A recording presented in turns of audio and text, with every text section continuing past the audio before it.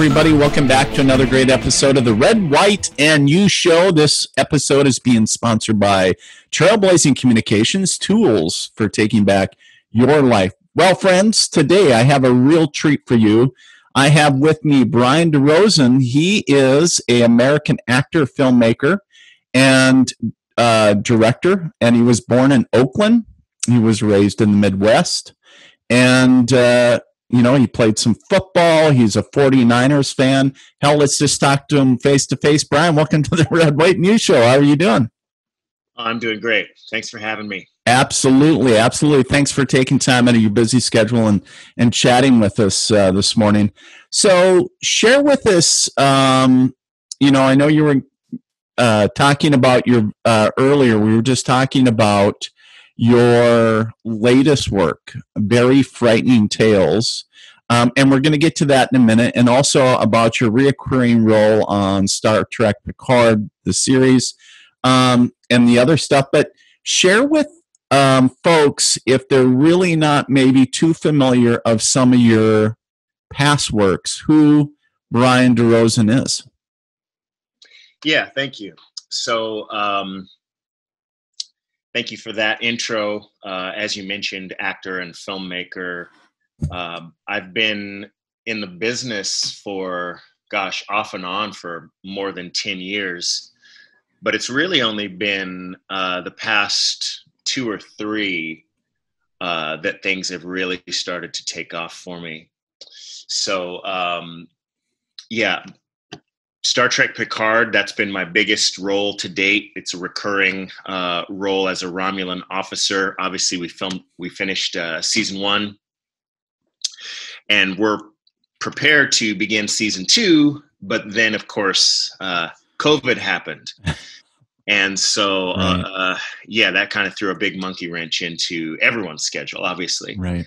Um, and I just found out recently that they are uh, now casting and getting the ball rolling for season two. Uh, now, whether I'm going to get to come back or not remains to be seen. I guess that that depends on what um, what happens with the storyline, etc. Uh, but if you watch season one, there was some resolution between the Romulans and and Picard, etc. So we'll Love see. It.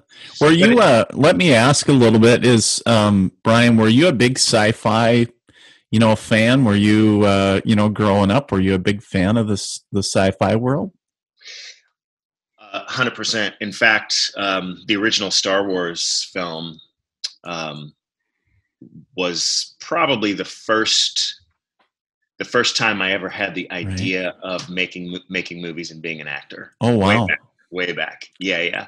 So about way back in the 70s that that first initial movie when it came out um what was it 70 was it 78 76 78 uh, it was right in right at right around there. It was later but right. when i was old enough to see it. Oh sure. Okay.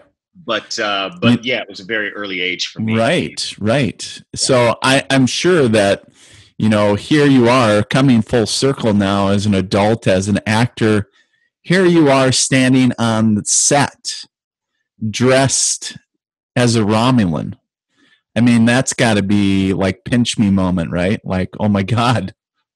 Yeah, it was. um it was it was exciting, but to be honest, it was it was maybe more exciting after we wrapped, after mm. we were hmm. finished, because you spend so much time preparing, and you know, funny story about it. Everything was so secretive around the show. Um, I had to sign a, a an NDA before I could even audition. Sure and I didn't even know what the show was. They had a a, a, a different name for it. So when I went in and read, uh, I was under the impression with such limited information. I thought, okay, well, this is either a battleship out at sea or a spaceship. I couldn't tell. I did the audition, ended yep. up getting the part, and only when I went in to get fitted, I went into Universal to get fitted for prosthetics, and that's when I realized this is Star Trek. but it was, um, yeah, it was just any other audition, any other time of being on set and working. Um, obviously, uh, the uh, you know the the set itself was massive and impressive Right. but it was really after I think that I got to kind of enjoy the moment because it was just Sure. kind of work and you, you just you work so hard and prepare so much for for those opportunities that when they come it's kind of business as usual Right. And then afterwards but my family especially my older brother um way more excited about it like initially than I right. could be Yeah. Right, right. Well, and I suppose too, like a lot of times they have to add in the Hollywood magic, right? Like some of the green screen stuff, you know, all the other bells and whistles, I'm sure. Um, so yeah, very cool. Um, and I'm sorry to to kind of segue into your your conversation, but I was like, boy, you know, it's it's one of those things. And let me ask you though, is like how many you talk about prosthetics? How many hours did it take in the makeup you know sitting there getting fitted and and everything every time before you actually shot Yeah, well, they told me um, that they expected makeup to take about an hour, hour and a half, and it ended up taking three hours. oh wow Yeah, uh, not sure why. I mean, it's all custom made, um, but it ended up taking about three hours, and I'm telling you, it was so real. They did such a fantastic job that as soon as I was finished in makeup, it was time to eat. Uh, we had lunch brought in, and I went out to grab some some lunch, and the people who were there serving the food, I could tell they were uncomfortable around. Like they they didn't want to make eye contact with me. It just looked so real. wow Obviously, they knew that they were on a set, and this right yep I don't know if they knew it was Star Trek or not, but I never really had that experience before where where I felt uncomfortable, like the eye contact with people. And it's just because it looked so real. It was that worth is every every minute of those three hours. well you know it's interesting because you know those those special effects guys those those makeup artists they they just really do bring things to life don't they? These characters and otherworldly beings we can call them. Um Yeah. just so cool. So bring us forward a little bit um so you have the project um star trek picard um you know bring us forward a little bit coming off of that Yeah. So uh, obviously, once we uh, finished that, and then of course there was talk about um, season two. So just kind of waiting for what's going to come about with that, and then and then COVID hit. So let's see. So Picard, I want to say this season completed in. I, gosh, I want to say it was March Hmm. which is also when right when when covid really hit us hard right when time. everything's shut down yeah yeah so this year has been unique um there were a, a, a couple of auditions that i had for for feature films where i got the part and then we weren't able to shoot it so i think i still have a couple of films lined up i was able to only recently uh, start auditioning again um, primarily for television sure. but now we're going back into this lockdown and then the holidays. So things were going to shut down at least for a couple of weeks for the holidays anyway. Right. So in terms of hollywood there there hasn't been a lot uh, going on. Now as I'm as or i guess as you mentioned earlier i am a filmmaker as well. So f- following very strict covid uh, guidelines i have been able to squeeze in a little bit of work here and there with we you know we call it skeleton crew very small sets. Uh, we did that with very frightening tales as well. We were able to shoot a few things. But fortunately um, because i do stuff myself and then being connected with suzanne i've been able to get a little bit of work here and there that will all come out you know later but we haven't Sure. haven't had to shut production down completely Sure, sure. Well, and especially challenging for everybody for sure, but I know it's it's really hard hit the entertainment industry for sure, right? Especially, you know, everybody um especially that lives in the state of California. Um, you know, very very restrictive and just a challenging time for sure. Now you talked about um, your connection to military. You know, kind of going back into your personal um, you know, your personal aspect. Um, you come from a big military family, don't you? Yes, I do. Yeah, starting with my father, um, actually served in the Korean War. Um, yeah, he was quite a bit older than my mother is, and um, so this was all before they even met and got married. But sure. uh, yeah, so starting with my father, U.S. Army, and then my three older brothers, Marines and Army, oh, and wow. then my youngest uh, stepbrother also served in the Army. Okay. So I'm I'm the I'm the one. Uh, you call me the black sheep, but I'm the one who didn't go the military route. And to be honest with you, the, probably the only reason I didn't is because I was playing football when I graduated, I had a chance to go to uh, straight to college and play football, and I yeah. did. I loved football. That was my that was that was my dream at that time. right, right. Pro football, and uh, yeah, so that's that's the reason I didn't. But yeah, so, my family is very. So you talk about football being one of your loves, and obviously you have a big love for the 49ers. You're a huge 49ers fan.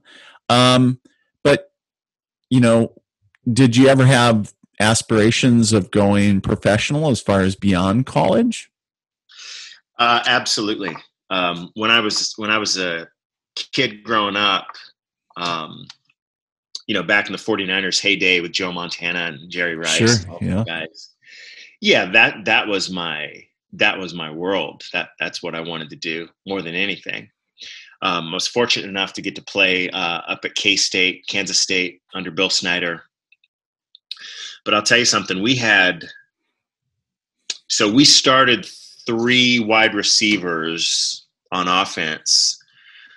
I was not one of them. All three that we started went on to the NFL. I was probably, I would say I was a five I was number five on the depth chart, if you will, for everybody. Sure. Yeah. Um, but yeah, I wanted to, but it wasn't wasn't quite big enough, wasn't quite fast enough. I was able to play in college, which was exciting and you know a fun you know a fun experience. But um, no, that was not that was not in my future. Okay, wasn't in the cards for you at that time, anyways, right? Um, you know, it's always interesting how life, you know, I guess twists and turns and you know how things turn out but uh, it's always interesting to to find that out. Um, so take us into a little bit more about um, you were talking about very frightening tales. I know that's your latest project. Um, can you share a little bit more with us about kind of like the storyline perhaps and, and a little bit so um, you know the listeners and viewers can be like hey i want to check this thing out. Um, for sure. Yeah. So essentially, it is. Um, we would call it a horror anthology. So each episode is so it's for it's for TV or TV slash streaming. Each episode is a half an hour, and within that half hour, there will be two to three short episodes, mm. and they're all very frightening. So uh, what happened is we have filmed one episode already, and that so and, and again there are three stories within that one episode, and that has been pitched and presented almost like a TV pilot. Sure. So we have uh, distributors slash buyers right now, and it is currently still being negotiated. So the question is, where is it going to be available? How many episodes do they want? Sure. um, but there's a lot of interest around it. So that's all. It seems to be uh, you know very positive.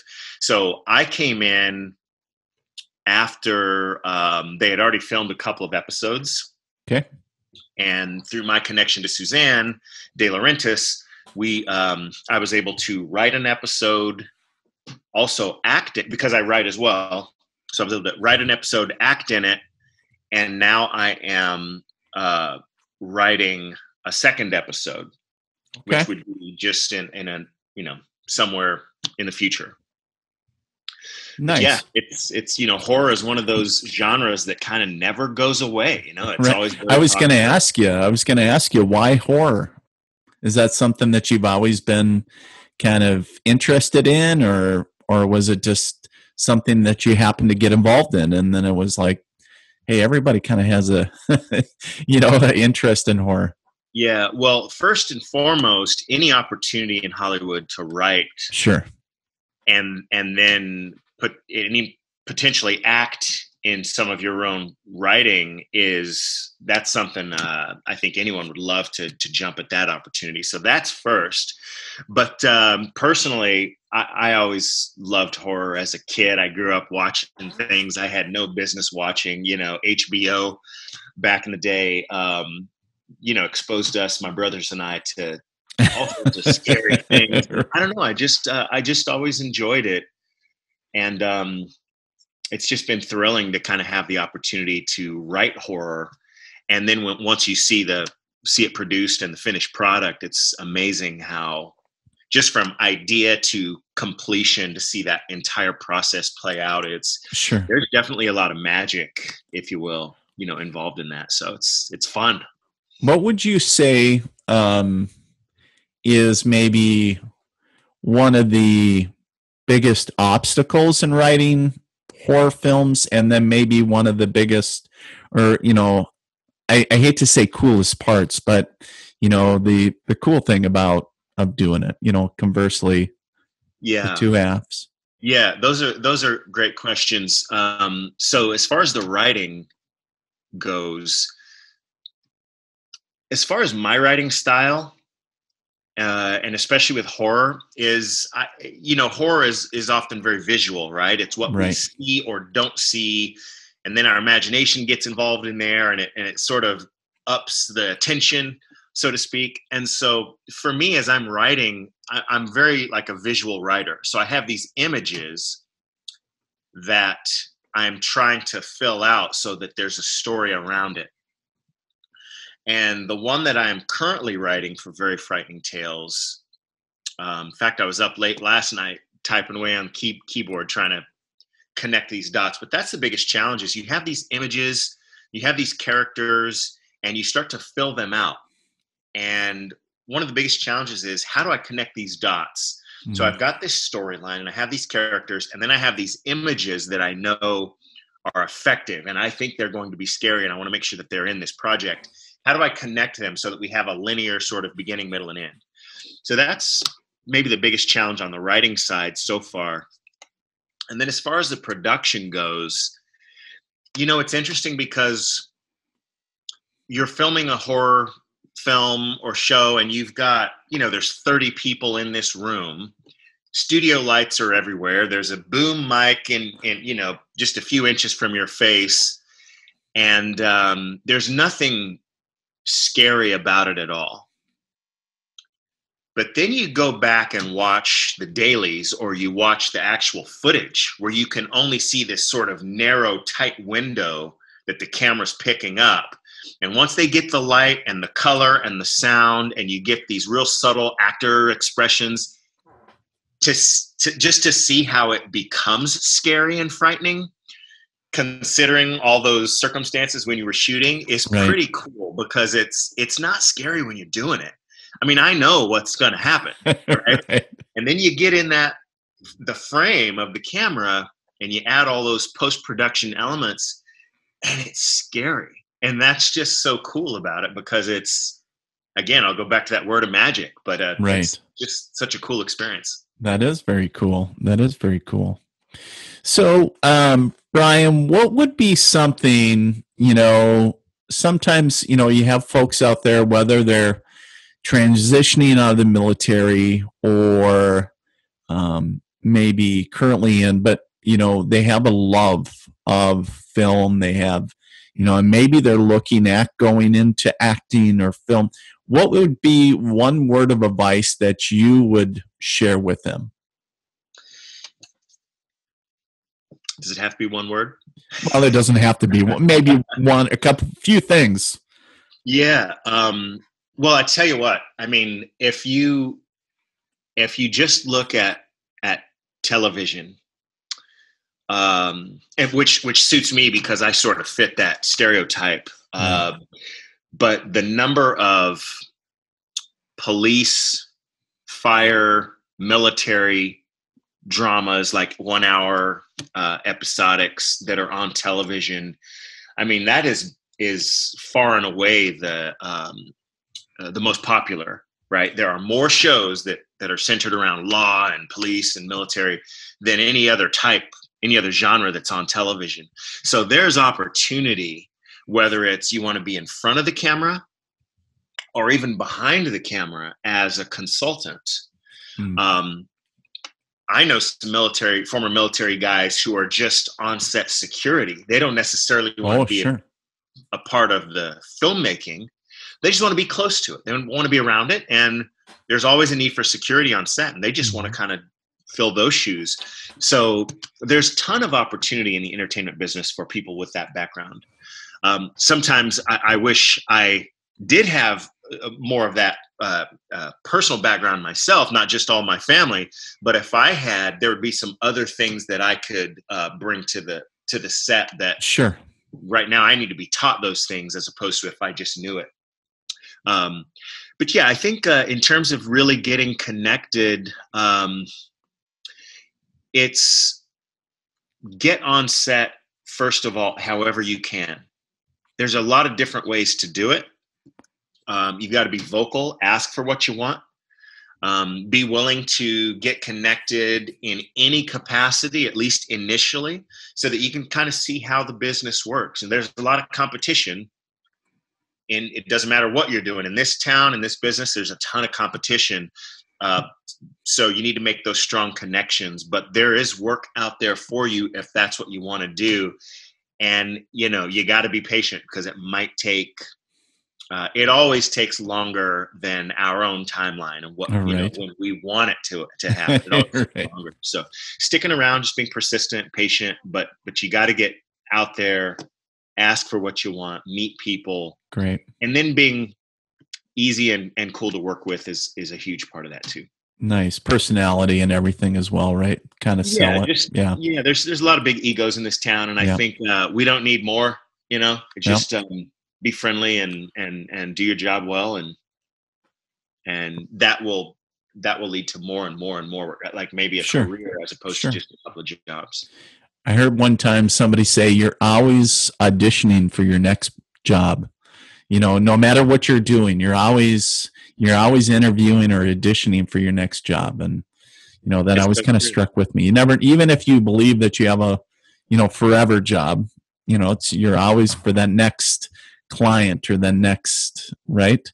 And it's yeah. like hmm, you know. It's so true. Um, i used to work with the writer for a popular tv show. The show was on the air for six or seven years. It was a very popular show and the star of the show um, had some health problems. And literally i mean this is an emmy winning tv show. And literally over the course of i want to say a month because of the star having these health problems all the writers all the producers all of the the rest of the cast and crew were out of work just like that. And there's no guarantee that you'll have work right. again. Like how there's no promise that you'll just get picked up on another show. So you're you're right. You, you, you, there's no promises in terms of a career and a future. So you always want to be auditioning, making those connections, right. and, and, leaving a real positive impression with everybody. Um, because there's just no guarantee. There's no promise for tomorrow. Right. Right. Yep. Yeah. Well said. Um, I wanted to switch gears really big and and switch over to another aspect that um, that you do. You have worked um, as I believe it's a financial consultant for many years. Is that correct? Financial advisor oh, there, coach. Yep. Okay, there you go. Yeah. So share with us a little bit about that because you were sharing what I love so much is you were saying that one of the things that you was on your radar is potentially working with military or inner city folks and a way of giving back or educating folks. But um, you know, talk about that briefly. Your your you know financial advising and, and coaching. Yeah. So when I first moved to um, LA right after college, uh, I was pursuing acting. Um, and, you know, I did that for a few years, but you hear this story so many times. I was just kind of spinning my wheels, going in circles. I wasn't booking the big jobs, and, you know, I'd get a couple of jobs a year, but nothing was really sticking. And so I just sort of overwhelmingly got this feeling that I needed to do something. I kind of needed to break away for a while and do something else. I needed some more life experience, uh, some business experience, if you will. Uh, and so somehow I ended up getting into finance. And I worked for one of the larger broker dealers on the planet um, for 15 years. Oh, wow. And I got to tell you, what I learned was this is going to sound weird, but the experience and the knowledge that I gained, it, it was almost worth more than the money that I made over those 15 years. No, that makes I mean, a lot of sense. crazy. And it's, you know, it's, that's debatable. Sure. But I'm just trying to emphasize how, how important it was. I did, I barely knew the difference between a stock and a bond right. when I got into the business. And you know, my parents just retired recently. They they barely knew the difference, sure. and they've worked their whole lives, right? So it just really struck me how important it is that people are educated and that people understand and and let's be honest it's such a complicated diverse uh, industry and you think about retirement savings and planning and investing and just money in general, it's so complicated. Right. And I don't think that's an accident. Most people, whether they're afraid or they're just overwhelmed, they don't know what to do and they don't have all the information and they make often they make poor decisions. So, I'm no longer in that business because I've I was able to get back into what I've always loved, and that's, of course, acting and now filmmaking. But I still have that knowledge and experience. And I want to be able to take that and share it with people who truly need it. Where I was with the broker dealer, um, we were really just working with wealthy people, to be honest.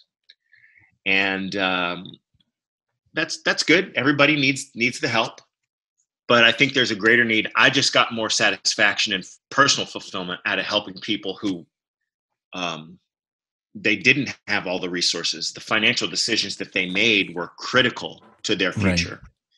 And so there are really two areas that I feel I would love to make an impact.